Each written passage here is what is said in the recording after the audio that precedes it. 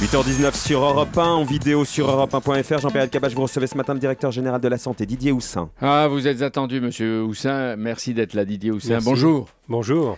Pour la première fois en Europe, donc, des autorités sanitaires publient une liste de 77 médicaments et 12 familles de remèdes sous surveillance renforcée. S'il y a doute, Didier Houssin, pourquoi ne pas les interdire? Faut-il attendre qu'ils tuent, comme le Mediator? Un médicament, vous savez que c'est aussi utile euh, pour, pour certaines maladies et donc il y a une balance entre les avantages et les inconvénients. Ce qu'on surveille, c'est est-ce que par hasard les inconvénients pourraient l'emporter sur les avantages? Renforcé, ça veut dire? Ça veut dire ça, ça veut dire que on surveille tous les médicaments, mais ceux-là on les surveille particulièrement, soit parce qu'ils sont très nouveaux, soit parce qu'on craint qu'ils aient effectivement des effets inattendus. Et en 1998, le Mediatueur faisait l'objet pourtant d'une surveillance renforcée. Ça n'a pas été une garantie, la surveillance renforcée. C'est- C'est juste, la, la surveillance renforcée n'est pas non plus une garantie absolue, mais malgré tout, c'est quand même une manière d'essayer de- de- d'être au courant le plus vite possible. Et alors, quand on dit la liste de ces médicaments, etc., est-ce que c'est une liste figée, fermée, ou elle peut encore évoluer? Non, c'est une liste qui va être actualisée tous les mois ou tous les deux mois, je ne sais pas, mais surtout, c'est pas une liste noire ni une liste de médicaments à éviter, c'est une liste qui doit être, disons, maintenue sous une certaine surveillance pour... euh, voilà. mais, mais ces 77 médicaments, Didier Houssin, surveillés, ont bénéficié, après un long parcours, d'une autorisation de mise sur le marché. Voilà. Et les Français ne comprennent pas qu'ils représentent malgré ça des dangers.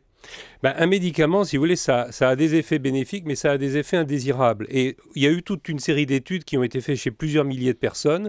Et puis, on a fini par dire, bon, ben, ce médicament, il peut avoir pour telle maladie des avantages. Mais on continue à le surveiller parce que si utilisé chez un million de personnes, il peut apparaître des effets indésirables inattendus. Oui, mais alors, euh, euh, ils présentent des signes de risque pour qu'on les surveille.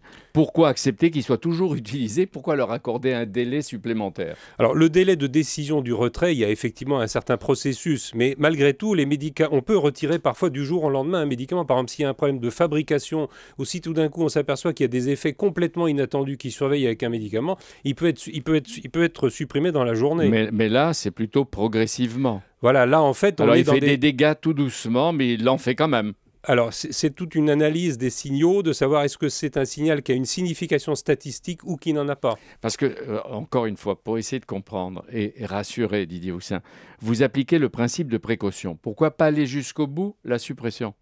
Bah, la, la suppression ces médicaments, malgré tout, dans certaines maladies, ils peuvent avoir un, un intérêt. Et donc, euh, si vous supprimez un médicament, si vous portez à la limite, si vous supprimez tous les médicaments, il y a quand même beaucoup de personnes qui vont en pâtir. Euh, Si on supprimait tous les médicaments, mais il n'est pas question de les supprimer tous. La France compte 12 000 médicaments autorisés en circulation. Entre nous, combien pourrait-on en supprimer sans enjeu vital? Alors, sans enjeu vital, la vie ou la mort, je crois qu'il y en a probablement quelques centaines qui sont vraiment indispensables. Par exemple, l'insuline. Si on arrête l'insuline, les diabétiques qui sont Donc, insulinodépendants... vous voulez dire qu'il y a des milliers qui ne servent pas à grand-chose Oui, mais il n'y a pas que la vie et la mort. Il y a aussi que parfois vous avez des mots qui ne sont pas des mots très graves et vous êtes bien content de plus avoir mal à la tête, de plus tousser, de plus ceci, de plus cela. Mais les supprimer, ça aurait des conséquences pour qui? En, en- en particulier Pour le malade, le médecin qui continue de les prescrire ou surtout pour les laboratoires Bon, je crois que ça aurait des conséquences quand même pour les malades qui sont quand même bien contents d'avoir parfois des médicaments qui leur améliorent, même si c'est des mots euh, relativement bénins, la vie. Bon, évidemment, les médecins euh, les prescrivent. Les industriels, eux, ils fabriquent des médicaments, c'est Ouais. clair.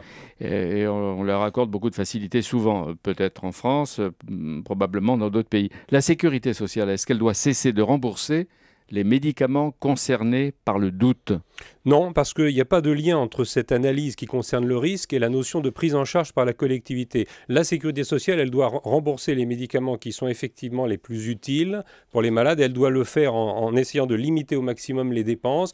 Et c'est ce qui est en France relativement bien fait à travers l'administration des prix aussi. Euh, Est-ce que vous confirmez, Didier Houssin, que l'antidouleur dit Antalvic sera interdit à partir de mars? Oui, parce qu'effectivement, c'est une décision prise au niveau européen pour un médicament qui posait pas beaucoup de problèmes en France, mais qui en pose dans certains pays parce que les gens euh, dépassent On dit qu'en doses. Angleterre, il tue 400 personnes par an. Parce que les quand il y a doses- surdosage. Voilà. Mais nous sommes en Europe les plus gros consommateurs de diantalvic, près de 10 millions de Français, avec chaque année quelques dizaines de morts. Pourquoi tant encore de mois Parce qu'il faut effectivement un processus d'interruption en France qui va concerner beaucoup de gens. Il va falloir que les médecins leur expliquent aux malades, bon, on vous donnait le diantalvic, maintenant on ne va plus pouvoir le donner, donc on va vous donner tel ou tel autre médicament. Donc les autres médicaments existent? Oui, Eh bien pourquoi à un moment le diantalvic se distingue par rapport à d'autres qui ont le même effet ou un effet meilleur parce que c'est un médicament qui en France était bien, bien considéré par les médecins, par les patients et qui... Par les visiteurs médicaux, par les laboratoires, par pas euh, la pub, etc. non, non, la pub, non, pas forcément. Je crois que c'était un médicament qui était apprécié. Je, je, crois que, effectivement, c'est la raison pour laquelle la, baisse est progressive. Dans, dans la liste, euh, est-ce que les génériques sont concernés? Oui. Euh, autre chose, comment éviter l'automédication? Parce que je vois par exemple l'effet, les conséquences d'un produit ou d'un médicament qui fait perdre des poids aux jeunes et qui a bénéficié d'une grande publicité à la télé, qui est Ali. Jusqu'où va l'automédication bah, euh, L'automédication, euh, a priori, elle concerne des médicaments qui n'ont pas une grande efficacité et qui n'ont pas non plus beaucoup d'effets indésirables. Ali est un contre-exemple. La France, en France, on était assez opposé à l'idée que ce médicament soit en automédication. Il est sur cette liste de surveillance et c'est vrai que des initiatives vont être prises au niveau européen. Et, vous, Didier vous est-ce que vous pouvez citer là ce matin entre nous euh, deux ou trois médicaments que vous avez dans le collimateur qui ne sont pas encore connus? Écoutez, non. À vrai dire, je n'en vois pas. Vous savez, il y a 12 000 médicaments. Moi, je n'ai pas aujourd'hui de médicaments qui, auxquels je sois très attentif. Bon, par exemple, il y a les hormones de croissance font l'objet actuellement d'une surveillance importante. C'est un médicament qui nous, qui, nous, qui, nous, qui nous interroge. Mais voyez, on est dans un secteur très particulier pour des maladies très particulières. Lequel, lequel, lequel? Bon, il y a des anticancéreux également dont on sait qu'ils ont une efficacité qui est probablement modérée, mais on est face à des gens qui vont décéder dans un délai rapide. On essaye de faire quelque chose. Voilà, ce sont des Là, médicaments. on est dans les généralités. Didier Houssin. Allez-y, allez-y. Quel, quel, quel, exemple précis? Non, je ne vois pas d'exemple. c'est vrai que je ne vois pas d'exemple qui me viennent à l'esprit de médicaments qui seraient particulièrement préoccupants. Est-ce qu'on est sûr que quand sera réglé, je ne sais quand, la nocivité ou euh, l'efficacité des 67, de 77 plus des 12 familles, il n'y aura plus de risque en France de scandale Mediator?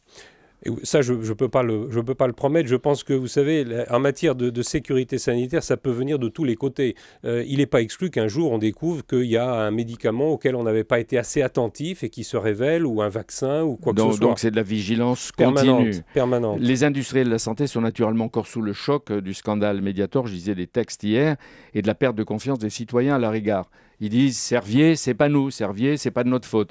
Qu'est-ce que la justice devrait faire au mouton noir Servier entre ça, nous? Ça, c'est l'affaire de la justice. Elle définira quelles sont les responsabilités. Moi, j'ai rien à dire là-dedans. Ce que je veux simplement dire, c'est que on a besoin des médicaments. Donc, on a besoin des industriels qui les fabriquent. Euh, le ministre Xavier Bertrand, et on va terminer, a promis une réforme du système de pharmacovigilance avant la fin 2011. Il a fait sur Europe 1. Est-ce que c'est en route vraiment? Ah oui, c'est enclenché. D'abord, il y a toute une série de missions qui vont faire des recommandations. Le travail est enclenché. La mise en, ligne de la liste, d'une certaine manière, ça anticipe cet effort de transparence euh, dans le domaine des médicaments. Je, je notais qu'hier, dans les échos, Alain Mérieux disait qu'il ne croit pas au libéralisme dans la santé. L'État, vous dites, euh, ou est-ce que vous le dites, doit avoir une place prépondérante Oui, parce que la sécurité sanitaire, ça fait partie de la sécurité et que la sécurité, c'est le rôle de l'État. Et pour que la chaîne de médicaments soit plus simple, plus transparente, mieux contrôlée, Didier Houssin, quel type de mesures l'expert que vous êtes recommande-t-il bah, je, crois que par exemple, il faut qu'on ait plus de liens entre l'autorisation d'utilisation du médicament et ce qu'on appelle la pharmacovigilance. Euh, continuez vos efforts pour nous rassurer. Merci. La route est longue. Merci d'être venu, Didier Houssin, ce matin, répondre aux questions de Jean-Pierre Elkabach. Demain, Jean-Pierre? Invitez le socialiste qui rêve au moins du Quai d'Orsay si la gauche gagne, Laurent Fabius. Très bien, demain, Jean-Pierre avec Laurent Fabius.